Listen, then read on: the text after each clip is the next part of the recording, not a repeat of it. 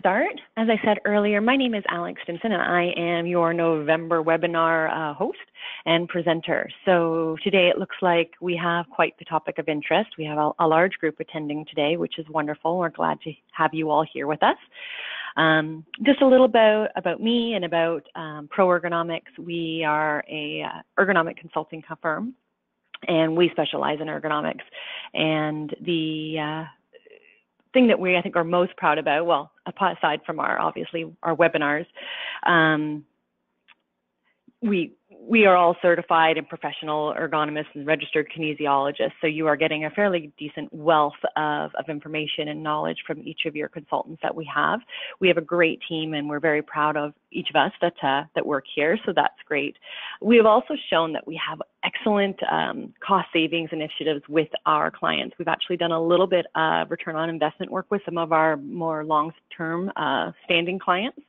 And we've actually not only shown that um, WSIB costs have gone down, but we've shown a significant decrease to the injuries and claims and duration of those claims that uh, we're really, really proud of. That's something that we're working hard to try and get some of that um, matrix data to be able to kind of present and, and share with some of our, our new clients as well as our, our current ones as well as we believe we have just unparalleled customer service.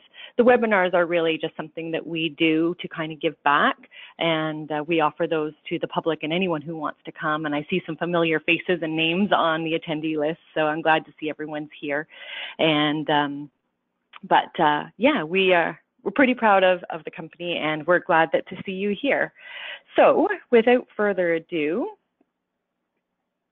if I can get my slides to run properly today.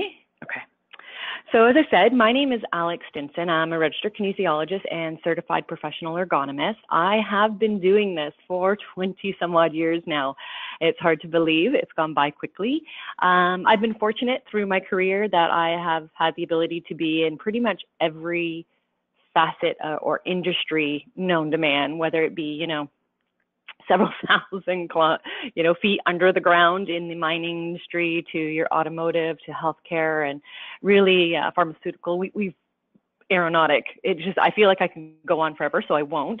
Um, today's topic is going to be um, Mind Really Matters and the whole cognitive demands conversation.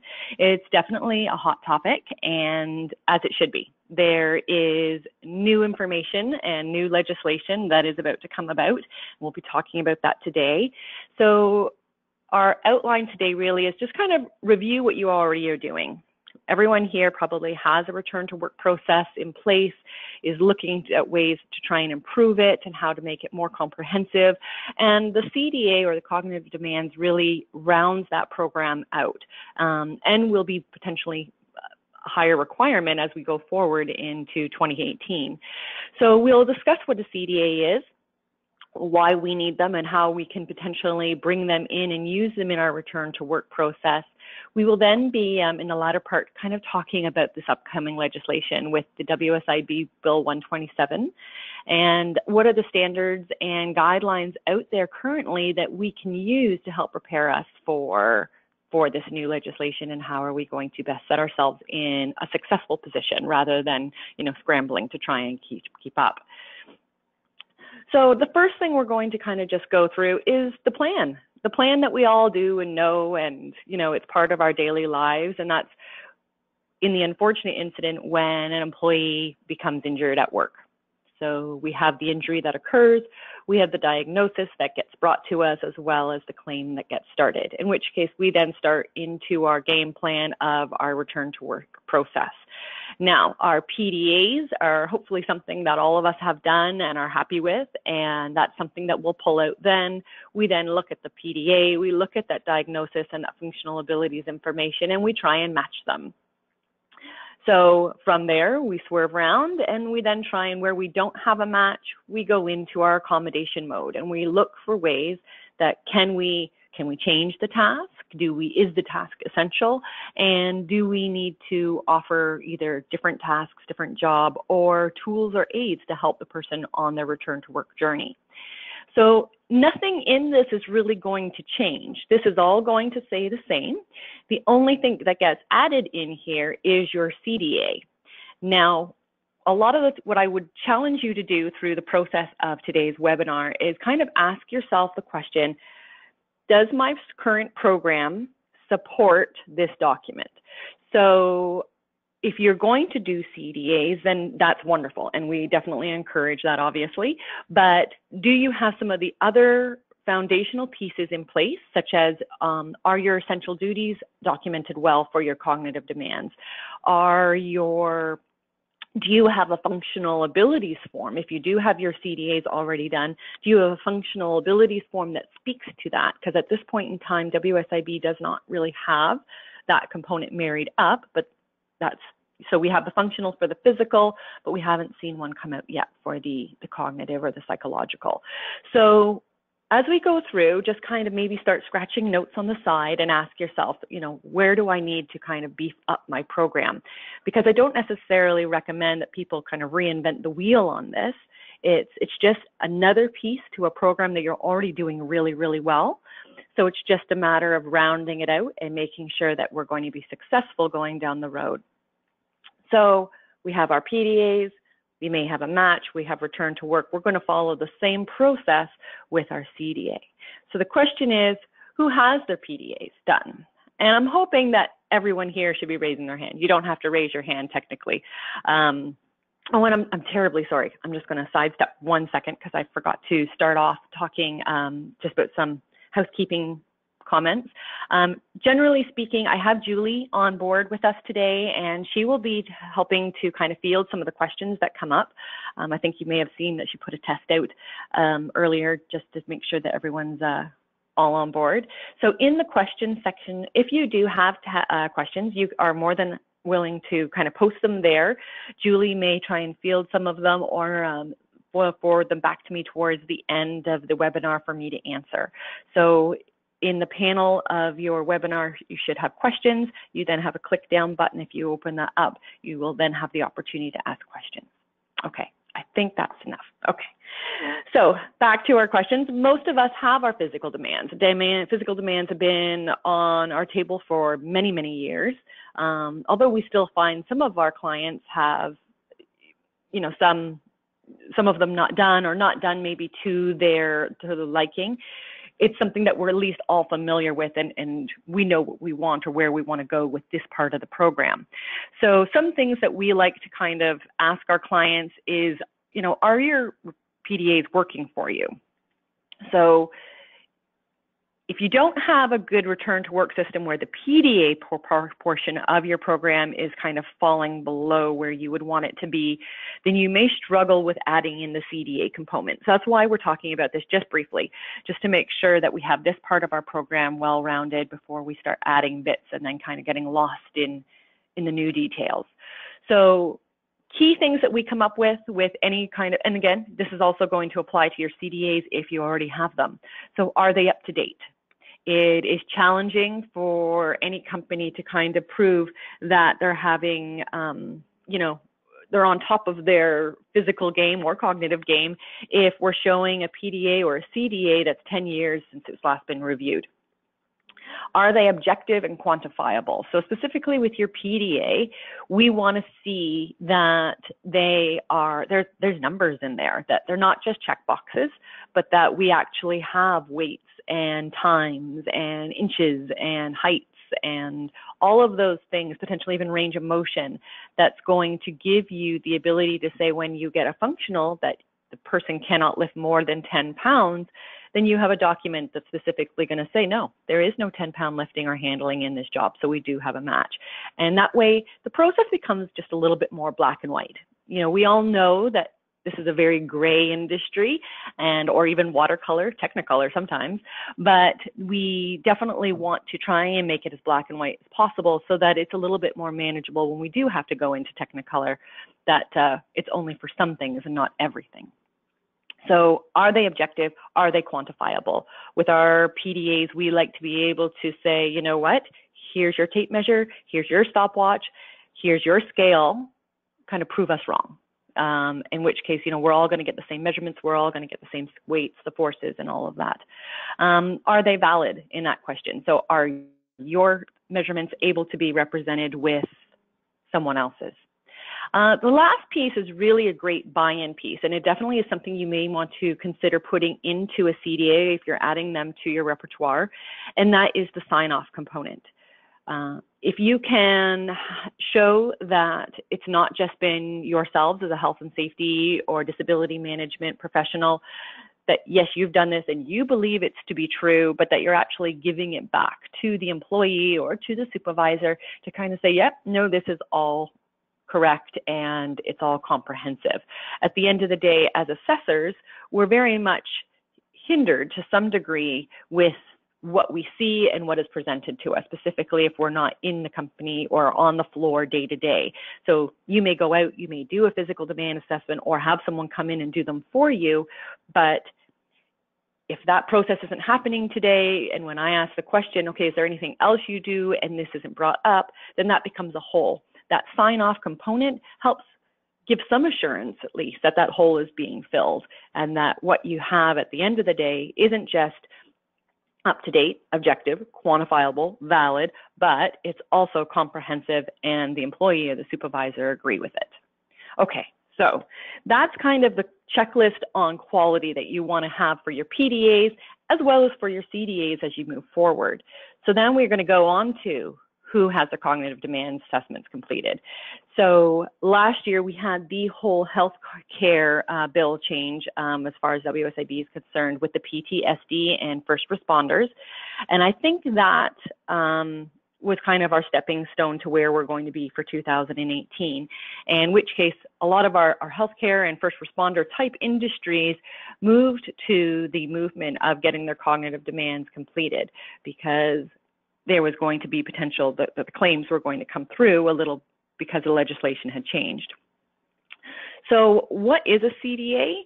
Basically, it's in a document that's going to attempt to provide clarity to the level, frequency, and complexity of the essential mental demands or the psychological demands. So often we're looking at less uh, objective data. So where I can't take a, a, scale measurement or a height measurement or a, you know put a stopwatch on some of the cognitive demands. So these have a tendency to be a little bit more um, written and descriptive in nature.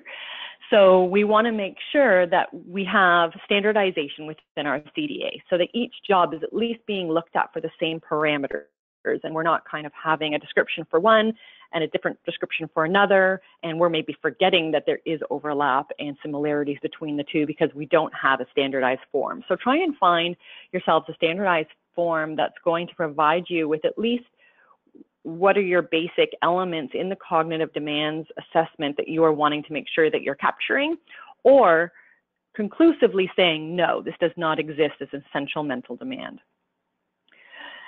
Now, the biggest question we have and where I've often come into just challenges, I guess, in some of the descriptors is determining what is an essential cognitive or psychological demand because this is sometimes one of those areas that has come back and, and bitten people afterwards because what we need and what we want are sometimes two very different things. So, for instance, I have, let's say, a, um, oh, I'm trying to think of an example. Let's say a an assembly line um, operator, and I want to say that there is a high accountability and a high attention to detail. Let's say high attention to detail. Um, you want to make sure that that is the case. That yes, that job does need that high attention to detail because what we'll sometimes want in an employee yes, we want someone who's punctual. We want someone who has high attention to detail, who has great memory, who has all these wonderful skills.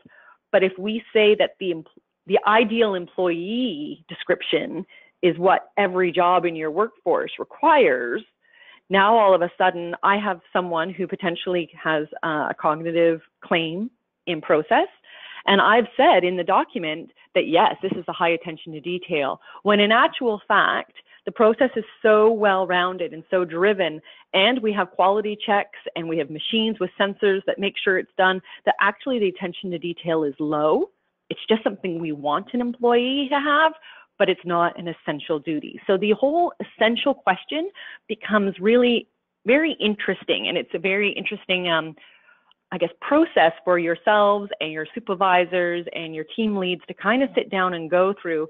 Because often when we start talking and we start going through these cognitive demands, what we'll find is people will say yes yes no that is absolutely essential and by the time you know we're done the assessment i've kind of got a flow of and a feel of what the job is i kind of come back and i'm like i haven't seen any examples where they need this and they're like well no i guess i guess that's just something we we want so that's something to kind of go through and start asking yourselves before you do the assessments is what are the essential duty requirements what is absolutely going to be required to do the job.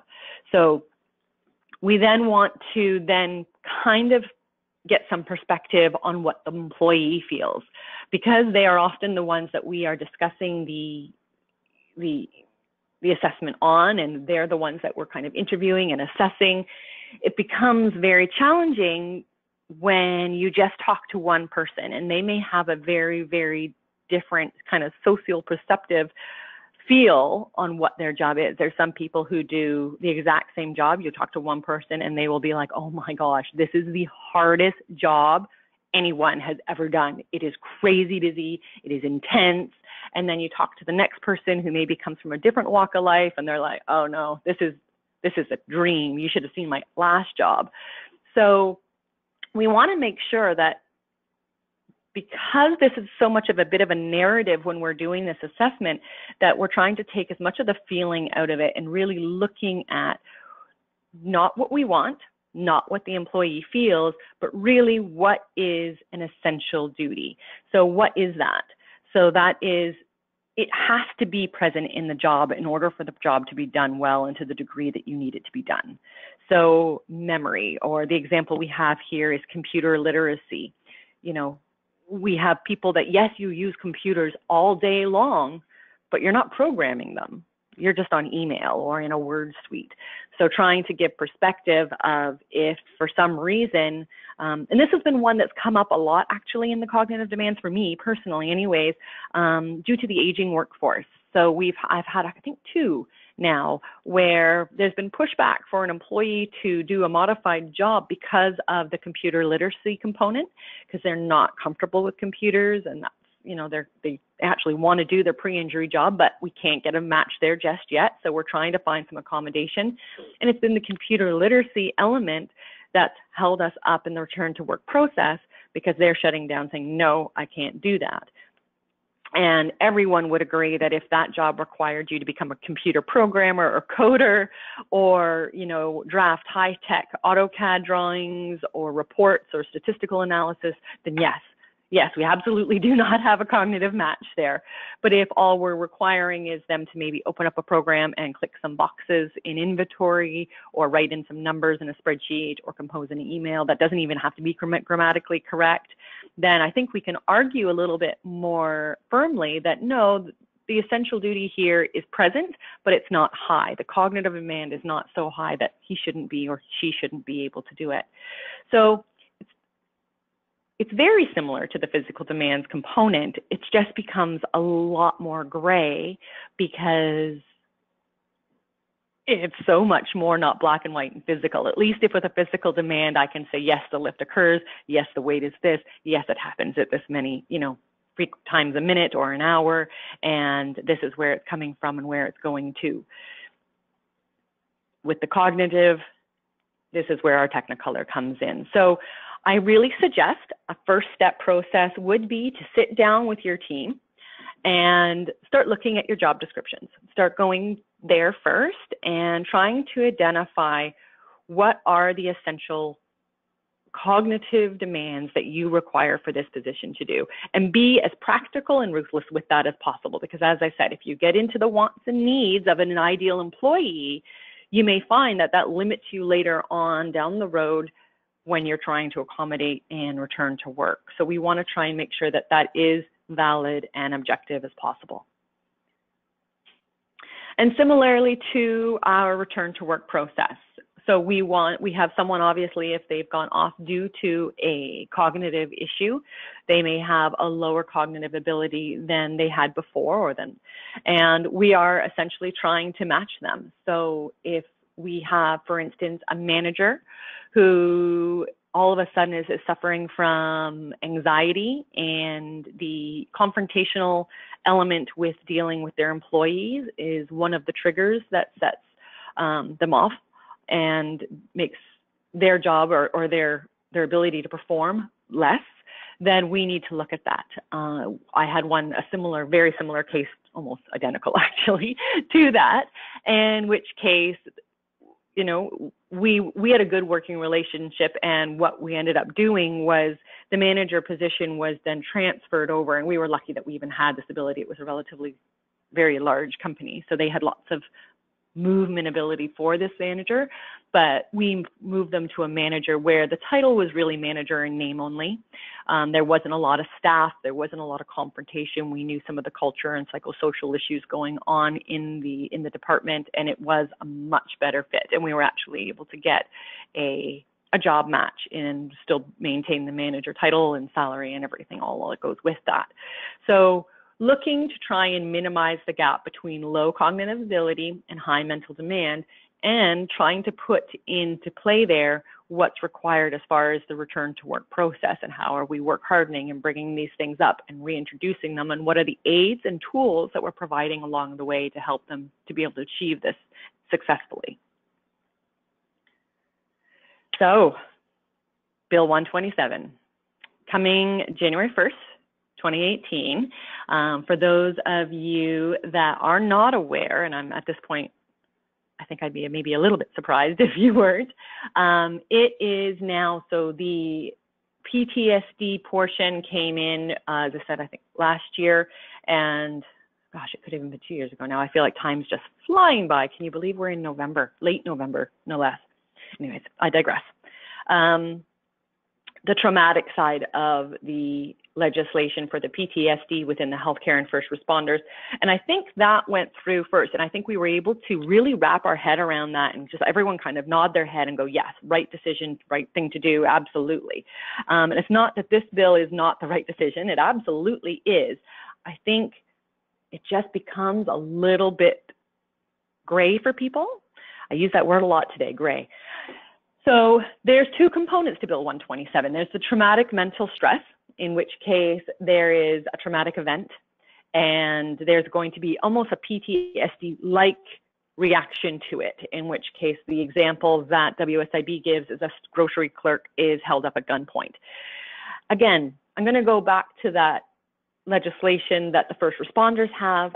I think as a whole, from what I've seen and heard and read, we we have this kind of yes i get that. I, I, get how i'm going to respond to that. I get how i'm going to deal with that.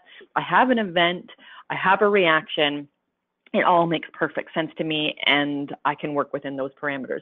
So today's talk isn't going to be so much on the traumatic mental health. You'll definitely need your cda to help with those claims but just kind of as our brains work I think that part of the bill, everyone's like, oh, yeah, no, no problem. I get that. That's fine.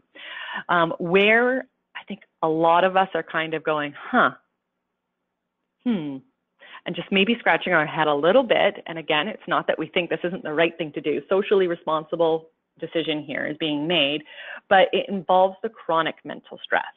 So this is something that's been building and happening over several years. It could be because of varying, you know, elements or, or aspects to the job, but we're looking at an example they give is bullying. So we're looking at something a little bit grayer, a little bit un, more undefined. So this is where we're going to be focusing most of today's session in, which is in the chronic mental stress. So right now, we what is chronic mental stress? Well, it is work-related mental stress that's caused by a substantial work-related stressor or a series of stressors. So what does that mean?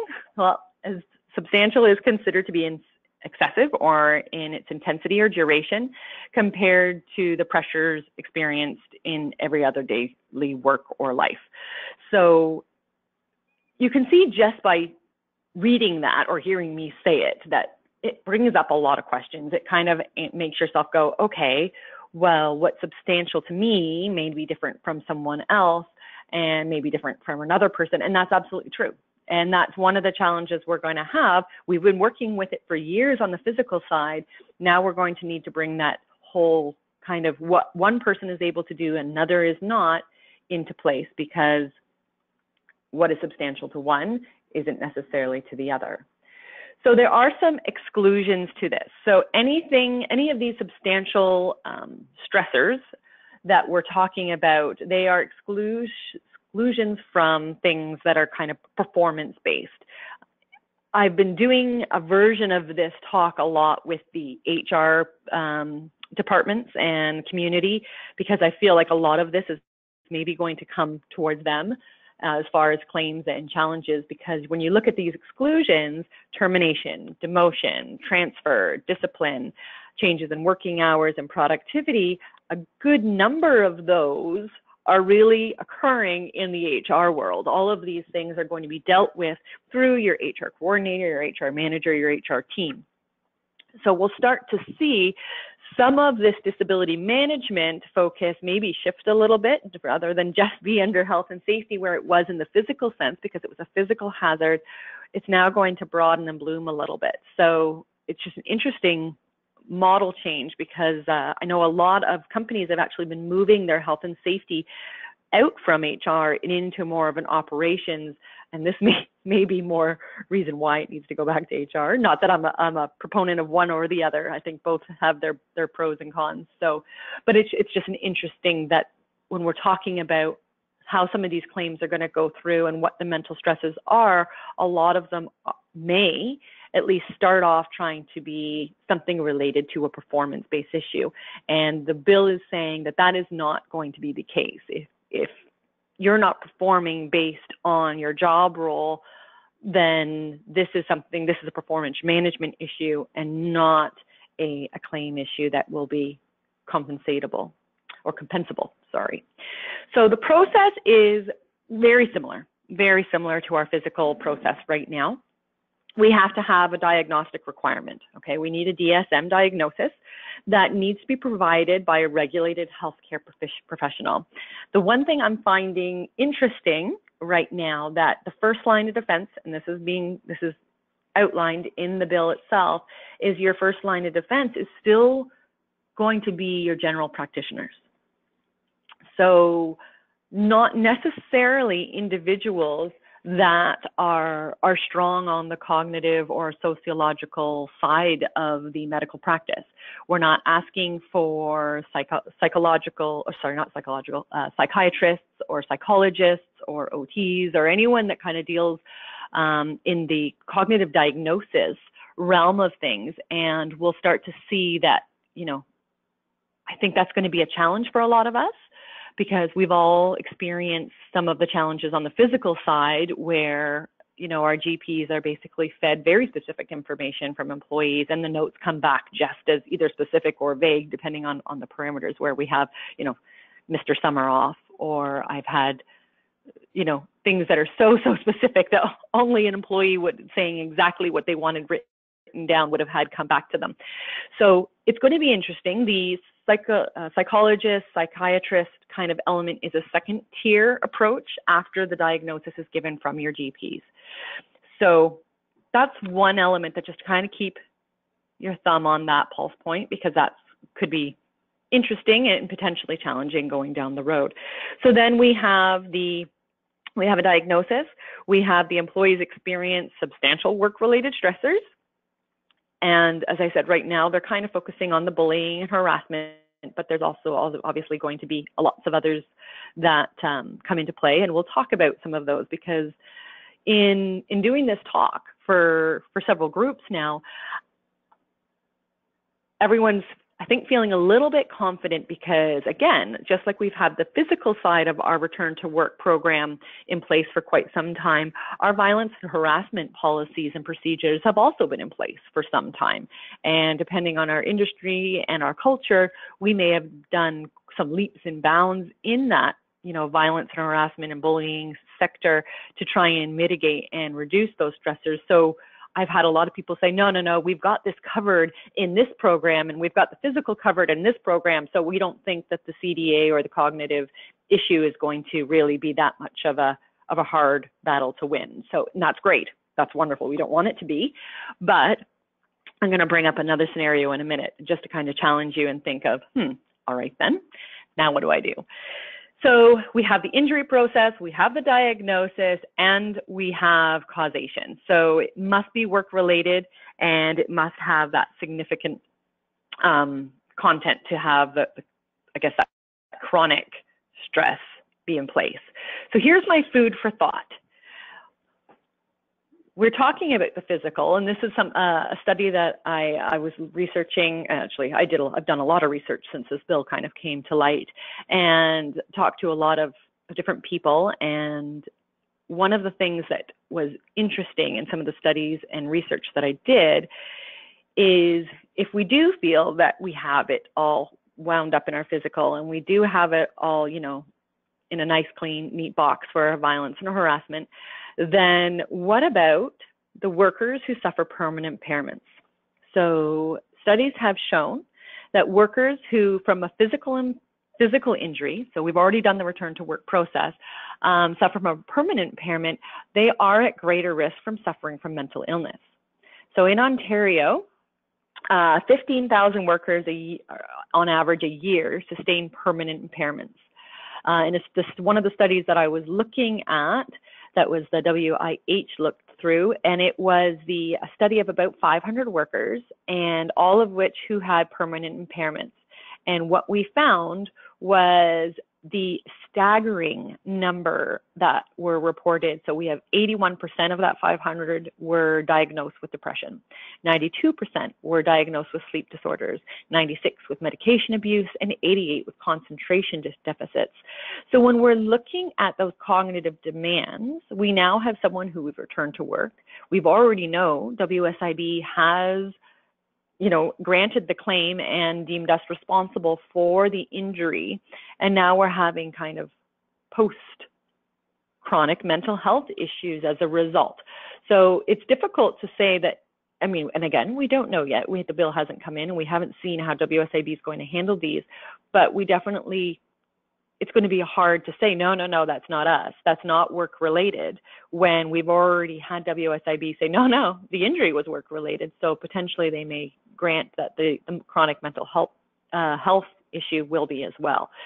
So permanent impairments are something we struggle with as it is because, as I said, any modification or adjustment to the job is permanent. It's not temporary. Um, and now this adds just kind of an elevated sense of urgency to make sure that, you know, our safety program is really on par and, and there's no blemishes to it so that we're not so we are minimizing our permanent impairments. So this is the statistics within that group of 500 but what it looks like on a whole if you take a more broad spectrum look at well what does this mean compared to our general population our more normative data um, in general our normative data now granted our normative data is obviously based on reported cases only. So it's not to say that these numbers are set in stone and likely are not. There's probably hundreds of thousands of cases of people that have not even who chosen not to seek um, therapy or attention or diagnosis and uh, and have not reported anything. But for on the whole of the reported statistics we do have, 12% of a population is generally um, being diagnosed with depression, and that is compared to 38% of someone with a permanent impairment. Sleep disorders, we have 75 for someone who's experienced a permanent impairment versus 48 in normative data. We've got 12 for medicational abuse versus 2. And uh, same thing, kind of, see the same trend with our cognitive, you know, 42% for those that are permanent impaired um, at work.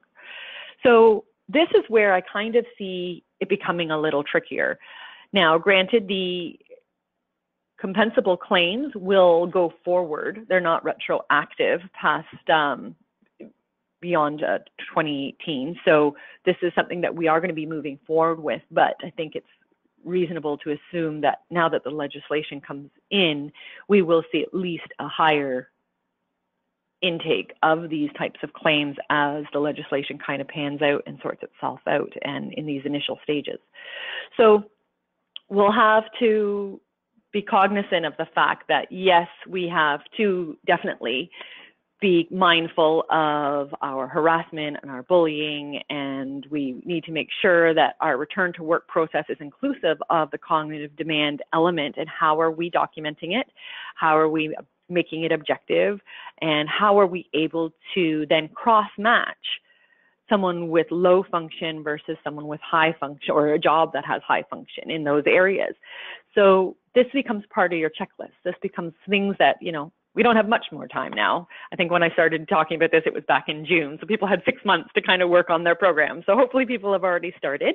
But we've got, you know, six weeks or so before 2018 rings in. And it would be that's kind of where we can start at least making a case of where do our where does our program need to change? Where do we need maybe assistance and help because of the short timelines that we're looking at? And where do we want to start?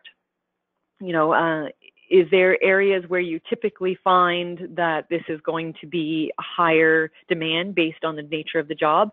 The fact that, you know, your first responder kind of jobs were, were almost earmarked or highlighted through the WSIB legislation coming in previously to this is an indication that there is jobs in every workplace that people recognize as being high uh, mental demand and what are the requirements of those because those may be jobs that you you see a higher risk of, of cognitive demand matching having to happen.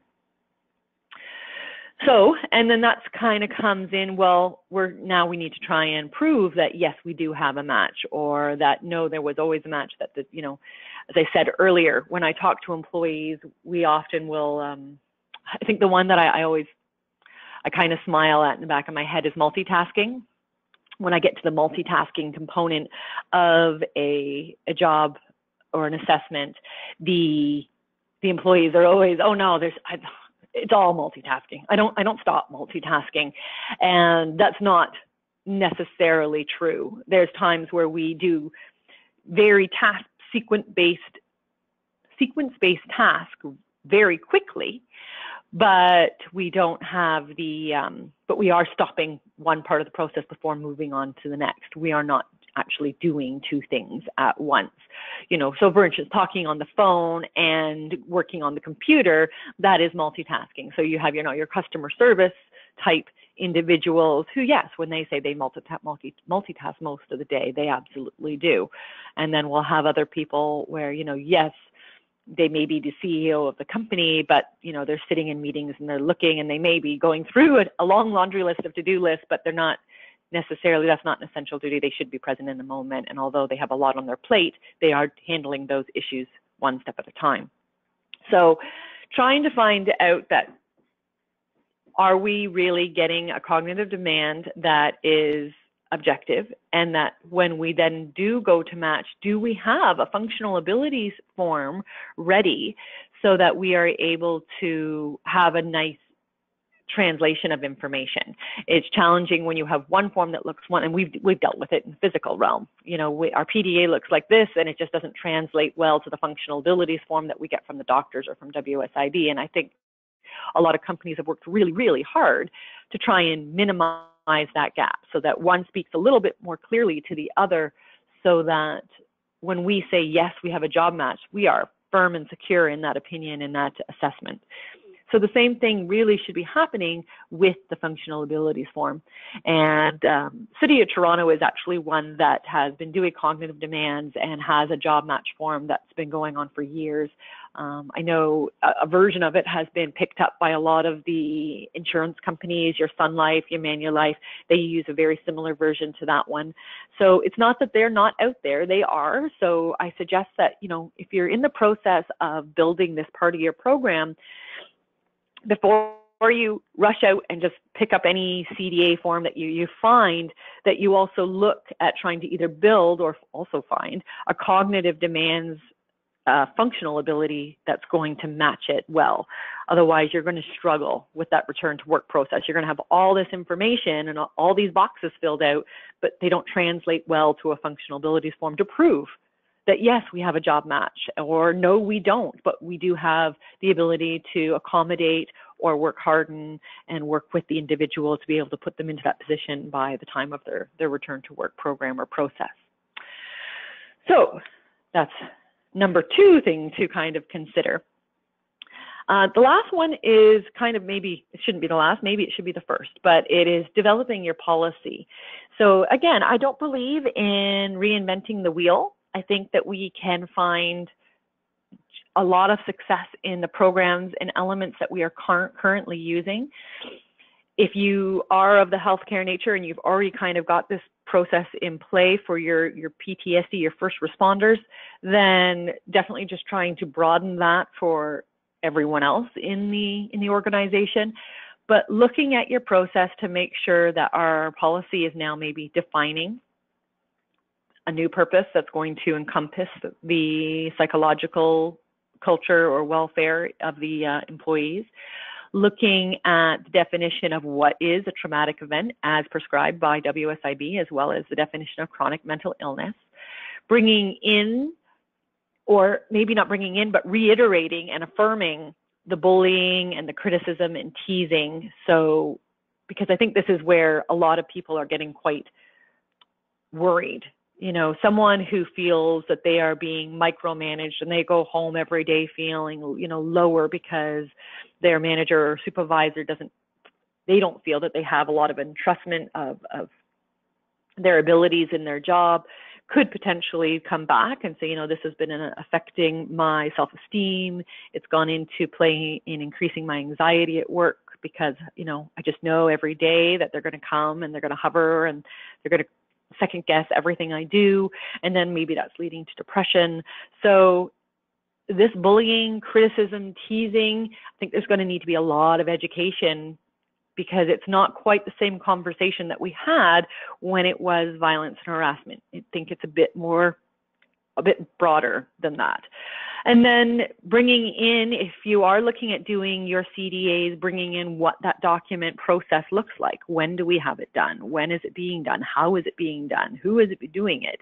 And all of those types of things. And how are we going to return them to work? Is there a functional abilities process in play? Do we have uh, a return to work schedule? Are we able to use the one we are currently using? So don't treat this like a whole new program. Build on what you already have. I think that will make the most sense to your employees rather than feeling like they're being kind of submerged into a brand new system when they're pretty comfortable with the ones that you have currently. So broaden and, and the scope of those programs, I think will allow the transition to these new claims to kind of just be a little bit more smoother and to be understood, I think, to a higher level than if you were to just try and blow in a new program.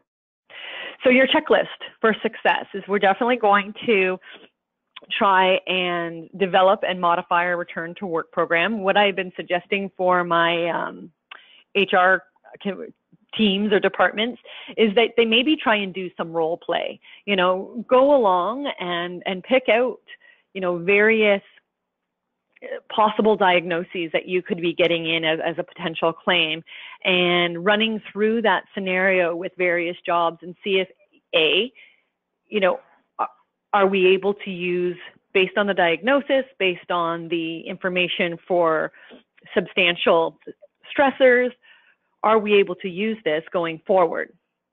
then we can then take that out and see where the gaps are in our program and where our at least our procedure steps and our documentation maybe needs to be improved. So that's step one. I challenge you guys all to kind of go out and do a bit of role play, playing and see how your program kind of stacks up and how is it going to work when uh, 2018 comes around and these new claims start to come through. Um, I would definitely work on the communication piece, specifically in your policy. Communication's always been a huge component in the early and safe return to work program. We've always seen and, and shown that continuous contact with the employee has shown better results where we're kind of going in a new direction potentially with the chronic mental health is sometimes that communication needs to almost start before there's a claim. You know, we may have an employee who sits next to me and, you know, they come, they need to know that they can come to you and say, you know what? Alex is just off.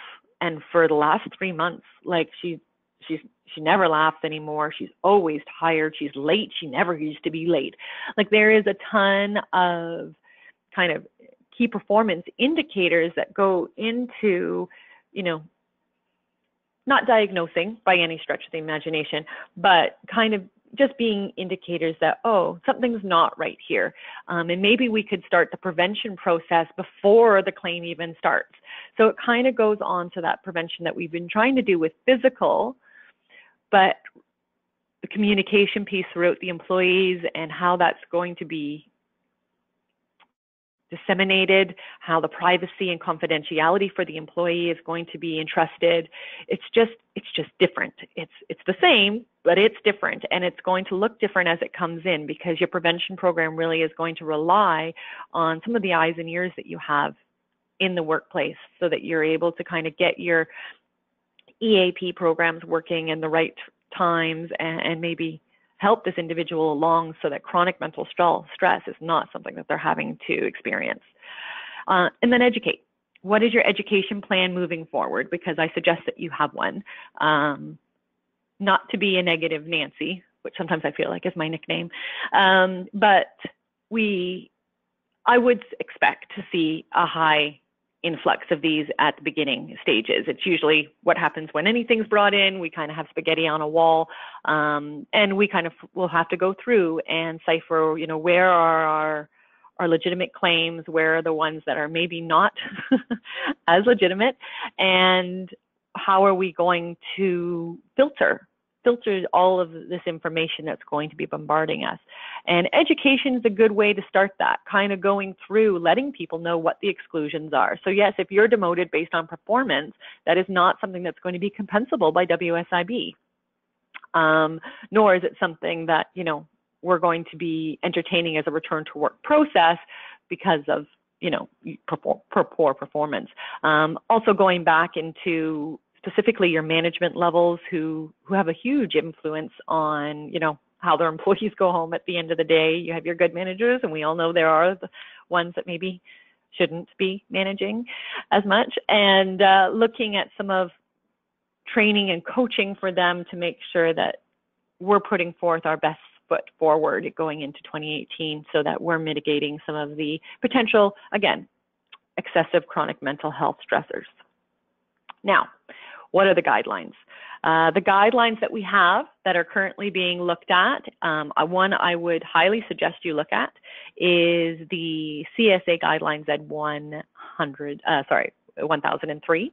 It is the psychological health and safety in the workplace standard. Uh, so if you haven't seen this, it's been it's out. You can download it actually for free. Uh, however, if you are interested, we, we have it. We can definitely send it to you. One of the things that is in this, and this is one of the uh, elements I've pulled out, there is an audit. There's actually several audits depending on your organization. So if you're small, they have a little bit more of a pared down version, or maybe if you know you have absolutely nothing, you could be huge and just know you're you have nothing in place for anything of this nature. Then maybe you start off with this kind of simple audit. But if you have a fairly robust program and multiple levels of intervention um, going along this path, then there is a more in-depth audit as well. So great way of kind of just checking yourself on the psychological health element in the workplace and how that's going to play out. It is repeated numerous, numerous times in this document and I've highlighted it here, and that is do you have the essential duties, the cognitive or psychological essential duties of your jobs documented, and have you done a psychological job analysis or job assessment, which is essentially your CDA. So it is kind of one of your first lines of defense, as well as it's a great exercise to kind of give you perspective as to what your jobs from a cognitive perspective really look like. Because as I said, everyone has these ideals of, you know, well, of course I want, you know, my employee to have all of these wonderful cognitive skills, but it doesn't necessarily mean that the job demands them. And the ideal employee is the uh, called the ideal employee for a reason, but that doesn't necessarily, we all know, may not be the case. So we will look at kind of trying to level that playing field by documenting through your CDA.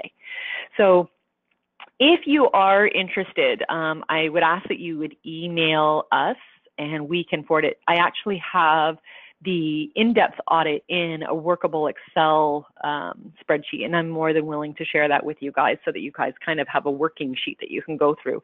Uh, this is obviously the um, standard is a, is a PDF, so it's not overly user-friendly when you're wanting to kind of track and sum and get a fuller idea on what you're looking for as far as how are we doing psychologically in the workplace. And uh, so more than happy to share that with you guys if you're interested. So that is basically CDAs and the legislation and the guidelines around it kind of in a very one, actually, oh, I'm doing well, 50 minute nutshell.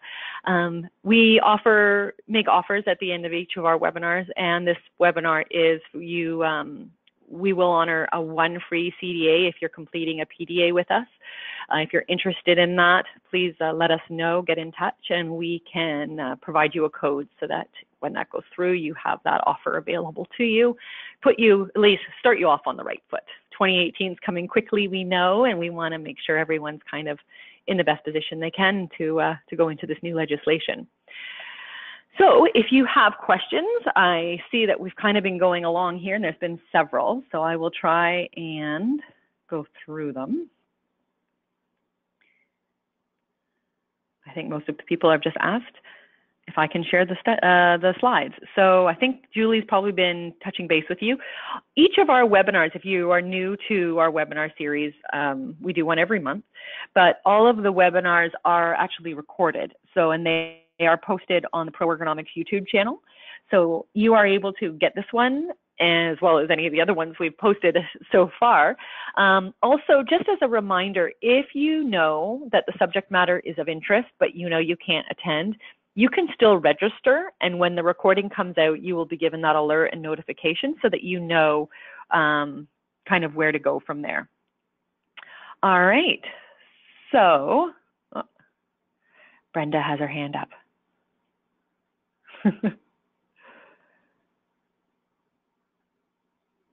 All right, let's just look at our questions. So yeah, if you have a question, just put it into the um, into the question section of the tab. I think most of these look like they are just getting a copy. Yes, Jacqueline, um, I definitely can. As I said, it was the uh, IWH, and uh, it was, I think, going back to 2012, but still, it was a very interesting study. And it was just something that when I read it, I read it just kind of as interesting food for thought for injury claims in general. And um, and then I was like, wait a minute, I think we will we'll have a hard time kind of showing that this isn't linked to this new legislation coming through. I found it really interesting. I will definitely um, I can I can post that and we can you can have that available for you.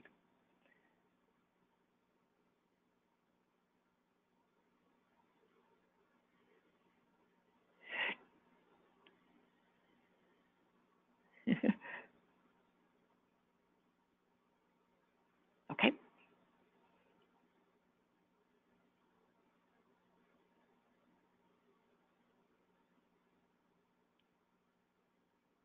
So we don't send out um, the the the slides, the slide deck. We do do the recording, so you can look through that at any at any time.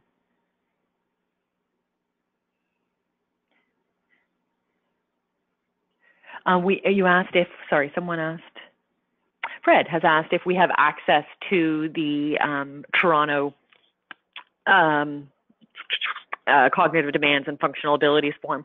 Um, I think we have had a lot of times it's come out in, in, sessions that we've attended. So it's not necessarily something that's been provided to us, but we've seen them and kind of worked with them and and looked uh, at some of the things. I don't have anything I can hand out, nor do I have authority to do so. But um, it, I would recommend you Google some of this because if you go into just your images even you should see some some images and templates and stuff kind of come up uh, and i would imagine. And even uh, if you have an insurance provider your benefits provider talk to them because my guess is and from my experience when i've done the cdas and worked with the on the insurance side because obviously they've been doing this longer they've they've been covering mental mental health claims for for many many years. So um, they sometimes have a lot of this already in place and they may be able to be able to provide you templates and assist you with some of the, the program growth. Um, we have ours that we do um, and we find it's been working really really well. It's definitely something that i feel not everyone can just pick up and run with it. You do need a little bit of education a little bit experience on what the definitions of each of them are, but there's definitely lots of resources out there. So I encourage you to kind of look at who, who you have in your corner to see who can help.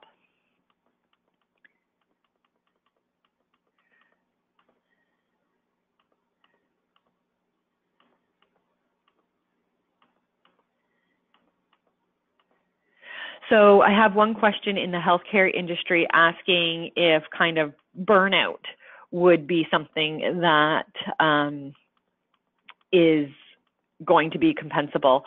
And it's possible. I mean, at the end of the day, you need to ask yourself, is these is this essential? In which case, most of the time, you're going to say yes. You know, our nursing staff do crazy long shifts, um, and but where you have some give and play there, and um, Sarah Snable, one of the owners of the company, my business partner, uh, she is our healthcare guru, and she she talks a lot about this. Is you know,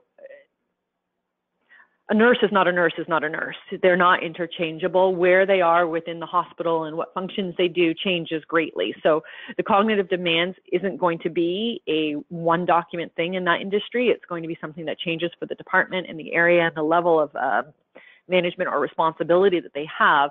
And you may find that you have areas or openings or abilities to kind of still have a work hardening or work um, return to work program in play within that industry. Because yes, it's it's something that you're going to definitely see happen. And when the the PTSD uh, first responders came in, I know the nursing community kind of was like, well, what about us? We see just as many horrific things. Um, and it's, so it's definitely an area where burnout is a concern. So I would definitely look at um, look at that and and kind of see how you can break that down a little bit. Um, someone else has asked, do we have the city of Mississauga is using? oh, sorry, no, I, I'm talking, I thought it was Sarah. So um, Sarah worked quite extensively with the city of Mississauga, and uh, they've been using um, a form that's very much built and based on the um, on the City of Toronto's format. Uh, we gave it out at the OMRA conference, so it's something that we could potentially provide as a sample if you're interested as well.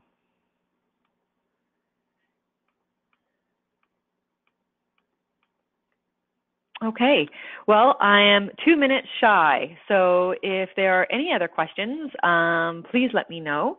I'll stay on for maybe another five to seven minutes. And if not, our email address is right there, info at proergonomics.ca. Um, you could email me directly. I'm a Stinson at proergonomics.ca, but I think info is a heck of a lot easier to, to remember. So we uh, just uh, yeah keep in touch. If there's anything that we can help you with we'd be more than happy to. If you're interested in taking up us up on the november offer um, we can if you set it in process usually they're they're only valid for the month because we'll be making a new offer in december so they don't last long.